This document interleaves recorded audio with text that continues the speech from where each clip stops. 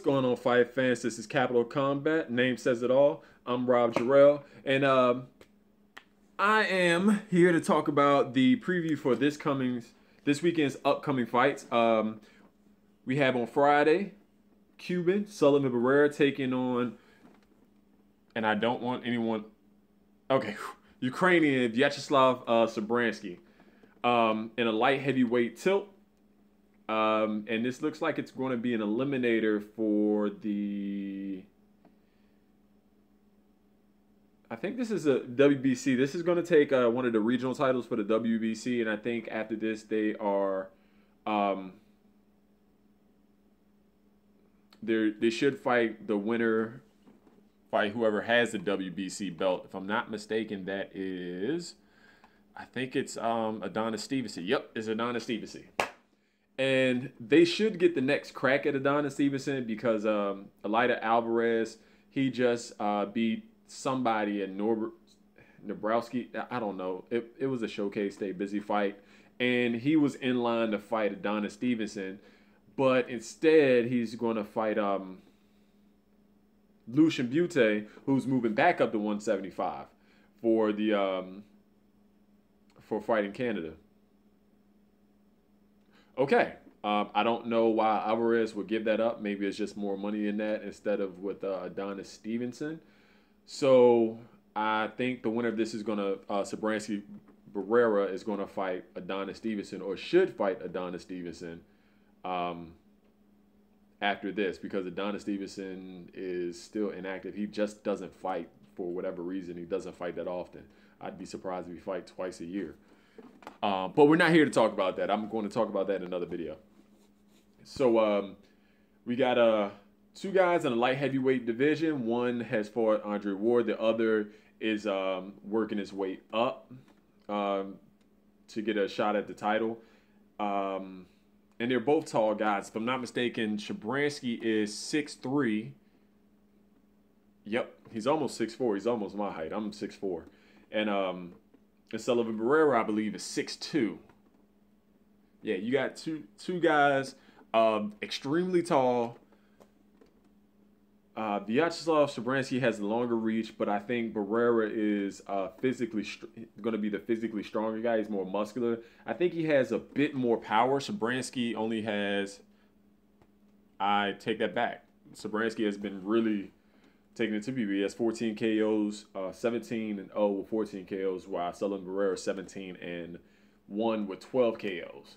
But I have to take a moment. I'm um, I'm look at their I'm looking at their uh, their records. Um, I've kind of been watching Shabransky since the Fabiano uh, Parker fight. Fabiano Pena, uh, he fought Paul Parker after that. I don't remember those names. Those to me are nobody, even the guy who was undefeated. Um, so he's going to have a more glossy record, but he he he is very good. He has some holes, but he has shown that he every fight he gets better and better and better.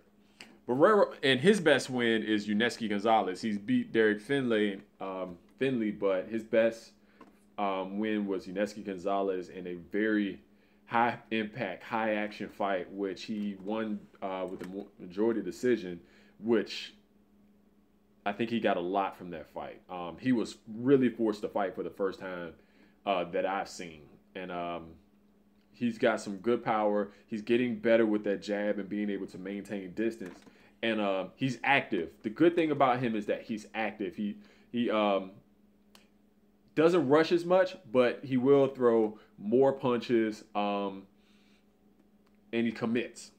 Whereas Sullivan Barrera has had his best competition was against Andre Ward, but his best win was his um, was his knockout by, versus uh, Karo Murat, um, and Jeff Lacy, uh, and that wasn't even a good win because Lacy has been past it for quite some time. Uh, I saw that and I was like, this is this is sad. Um, so uh, I talked to Akeem about this one, and if you had to pull our arm on this one, um, we're taking Shabransky in a very close fight. Um, not quite as high impact as I would say the um, the uh, Gonzalez fight was for Shabransky, but um, Sullivan Barrera is a strong guy.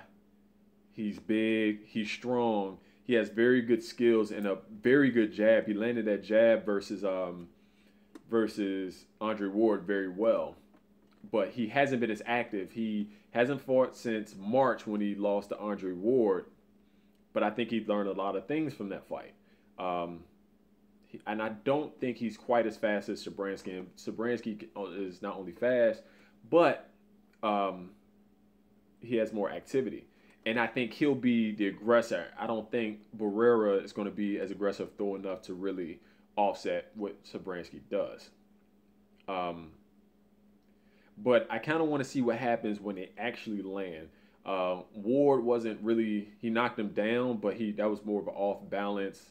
Um, I caught you slipping punch against um, across the uh, across the dome.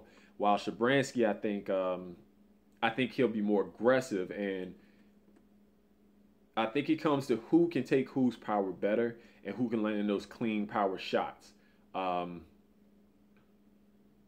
and I don't think it's going to be as much as a battle of a jab. I think it's going to be a, a battle of mentality because one, this is a win uh, for each one of these guys that's going to elevate them to the next level from um, no longer being a prospect to either one, but to be a real serious contender.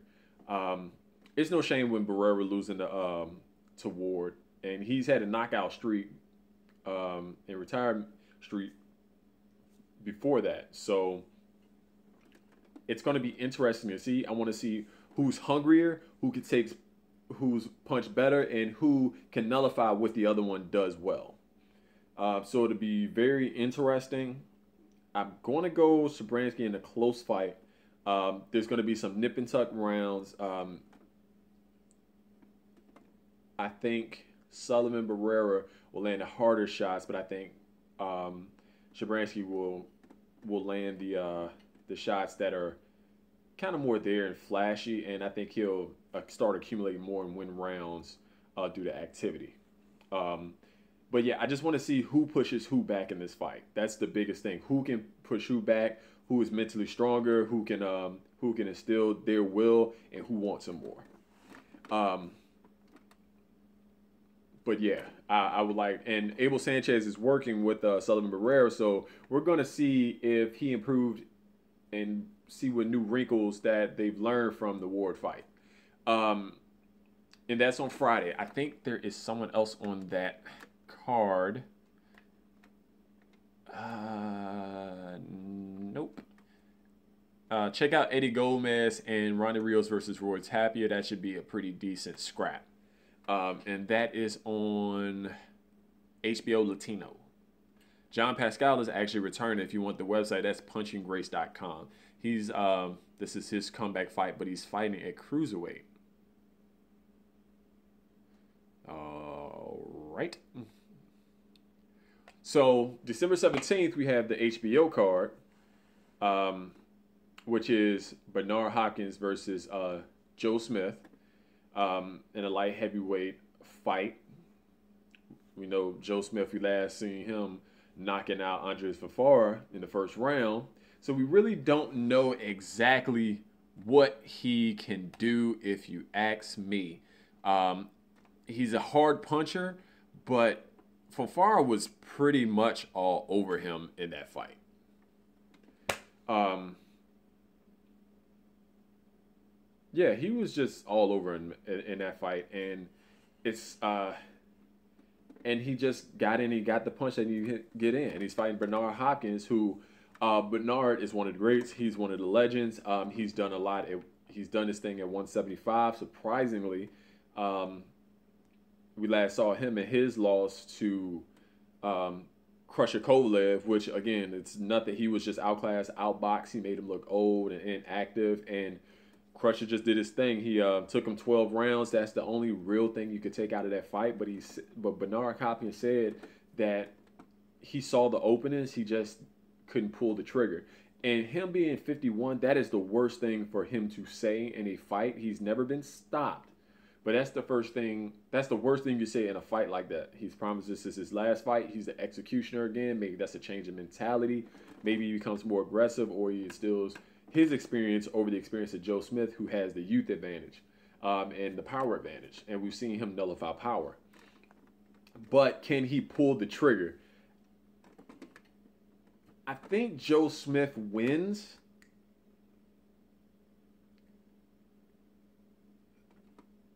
It's hard to call because you don't know what B Hop you're getting. It's been over years since he fought, so he might be fresher. Um, he might be ready, but does he age in this fight? If it goes 12, I think he ekes it out, but there's a distinct possibility that he's he's forced to fight. Maybe he doesn't have the legs. Maybe he doesn't pull the trigger. Um, maybe he just gets old. I think this is a, a very, very, very winnable fight for Joe Smith. The only thing is, it's a winnable fight for Bernard Hopkins because of the fact that he, skill wise, experience wise, and knowledge wise, he's leagues ahead of Joe Smith. And in Joe Smith, I'm gonna be honest. I don't think he's had a really big um, other than Fonfara, which is best win, you really didn't get but so much from that. And I know that sounds awful. And I'm kind of look. I want to bring up his because I've only seen like two of his fights, and I can't remember what freaking fight that was. Let me see who he's fought because he's 22 and one. He has one loss. The loss was early in his career, and I'm looking at Fabio Pena, Will Rosinsky. I mean, these are mid-level to low-level. Otis Griffin, Michael Gbenga. Those are guys that, um, if you're any good, you're supposed to be. Now, he's won plenty in a row. He lost to nobody early in his career. He knocked out Andres Fonfara, but I mean, we don't really have enough to say that he can that he can beat a guy who's seen a who's who over the last twenty something odd years. So tell me what you think. I I'm still up in the air. It'll I'll put my my official pick on Facebook. Is at Capital Combat on Facebook, um, because I, I need a little bit more thought about it. I just think. Does he get old, and does Joe Smith uh, look like he's a fluke against a guy who is at least B level Fonfara? Um, on that same card, we have JoJo Diaz, who is um, who's going to be featured on there. That should be a good tune-up in his uh, matchup versus uh, Horacio Garcia. Yeah, who's only got one loss, and that's for a featherweight title. And after this, we should be seeing him fight the who's who of featherweight. And I'm talking about we just um we just saw Abner Mares fight um Cuellar. We're getting Frampton versus um Santa Cruz. We know that um, we know Lomachenko could possibly move down if he wanted to. Um, we know um, Gary Russell Jr. is there. It's there's plenty of fights, and he's undefeated. So yeah, it's you know Jason Velez is still hanging around. It's so much there that can be said, and just to kind of go and look at a. Uh, those rankings in the divisions, or some of those guys in the divisions, for um, what would be better for me, right? Is that this is the, I this is freaking hate face uh, this computer when they pull up the videos. Like I don't want those videos. I mean, yeah, you're looking at Gary Russell, Lee Selby, Oscar Valdez, Scott Quigg, Simpiwe Vetyeka, Oscar Escandón, um, and then there you have Jojo Diaz at featherweight. That's a deep division. And if Lomachenko decides he wants to come down from 130 to 126, that makes it even more wide open. So I hope after this he takes a step up um, and fights somebody on those names that I've seen. Oscar Escandón would be a great name to put on there. Um, so I'm looking forward to that. But moving on, I, I don't want to I don't want to stick with this too much longer. Then we um then we have Alexander Usyk versus Thabiso Mchunu. And uh, Usyk is the medalist out of the Ukraine. These Ukrainians are pumping out some great fighters, by the way. Um, between Lomachenko, we know Um, we know Lomachenko, we know Usyk, we know Shabransky. Um, you know the Klitschko's are from the Ukraine, so yeah. Um, these guys are coming out. This is for the WBO cruiserweight title. We have Thabisa Mchunu um, against Usyk, and I gotta unless Mchunu can get inside and make himself very wily, make himself a small target, and um, keep himself from being hit by such a much bigger, much nastier, much more skilled, in my opinion, Usyk, then we have a fight. But Usyk is 6'3 with a 78 inch reach. Thabisa Mchunu is 5'11 with a 72 inch reach. Those are what you see on super middleweights. And he lost to Lunga Makabu, lost his title, but then he came back with a decent win. Um, so his best win is probably Eddie Chambers and Garrett Wilson. So yeah, unless he can make himself a small target, get in, be slippery, hit him with some counter shots against Usyk, he's going to get outboxed. Now, he may not knock him out, but we're talking about a guy who came in, he beat Glowacki out of Poland. Feel free to um, to correct me on that. Um, then he's got some other good names in Brewer, and he's he's a powerful puncher. He's 10 and 0 when he has nine knockouts. And that was against a guy who was actually a champion in Glowacki um, that he did knock out. Um, and Thabisa Mchunu is not a knockout artist. Uh, he's 17, but he on 17 and 2, but he has 11 KOs and he's lost by two KOs. So you got to knock this guy out, and the guy can be knocked out. And my man is out of, um, but he's a southpaw, so that says a lot. It might be he might present some problems to um, Usyk that we don't express, but I think Usyk's just going to be too big and too skilled for Mchunu. Um, yeah, so we're moving on. And one last thing we want to talk about uh, Povetkin and Alexander Povetkin and Bermane Stiverne are fighting for um, as an eliminated uh, take on Deontay Wilder in a heavyweight tilt. Uh, Povetkin's promoter won the purse bid, so that that should be taking place in Russia. Um, and I got to take Povetkin because Bermane Stiverne is more of a counter puncher, and I, again I talked to Hakeem. Um, is more aggressive. Um, he's bigger. I think he's more skilled, but Bermane Stiverne when he's on and he's actually in shape and ready for fights shows that he can he can go with anyone. He um, he knocked out Chris Arreola twice, um, but he showed he has shown lapses in his fighting, um, and also he's just not active. And the biggest thing that can hurt him is just not his activity, not having any activity. But with Povetkin, we just need to see how he will respond because he got popped for meldonium, which they canceled the fight with Wilder, but he's been allowed to fight. There's not enough evidence to show that meldonium really could have affected him um, or enhanced his performance. It's just it was newly banned. We're gonna overlook like that's come and gone, whatever. But I just want to see what kind of. It depends on what guy shows up in this fight. Um, yeah, it it shows. Depending on who shows up better in this fight, who shows up, because Povetkin I know can get out of shape sometimes, but he has the skill. He has the skill. He has the power um, to fight and win. But he kind of went up against it with Marius Wach. Um, of course, he fought Klitschko, and it's another guy who who doesn't fight as often as you would like him. This is his first fight in 2016.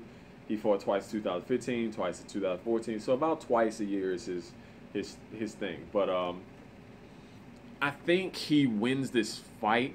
Um, Bermane Stiverne has actually shown to have a really good chin, so I don't think he's going to knock him out.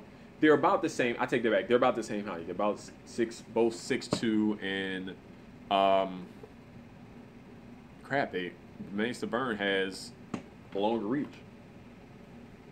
Whew, these are some difficult fights to call.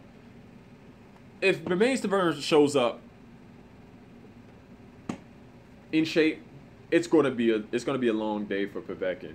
But whoever shows up non in shape, if they look heavy or um, out of shape, that guy's going down. But I just think Povetkin has had the better competition, um, and he's going to be able to bring more to the table with his experience. Uh, Bermane Stiverne, his best opponent was Deontay Wilder, who he lost to by unanimous decision. Um, so me and Hakeem, we talked about it. We're going to take Usyk. We're going to take uh, Povetkin. We're going to take. Um, we don't know about Bernard Hopkins, Joe Smith Jr., and Shabransky should win with the activity as well. Um, I'm picking the European guys, um, but it might not. It might not go the way we. It just depends. There's a lot of variables with a lot of these fights. We got two hungry guys. We got two other guys who depends on who co- comes up in what shape. Um, and we got to go from there. Uh, if you have any questions, feel free to um, say something in the comment section. Hit us up on Facebook, um, Capital Combat, Instagram, Capital Combat Google Plus, Capital Combat. Email us, capitalcombat at gmail.com. And um, don't forget to like, share, and subscribe. Um, definitely like and watch our video. We got more coming for you. We've got some changes. We got some new things coming up in 2017. So until next time, everyone, fight on.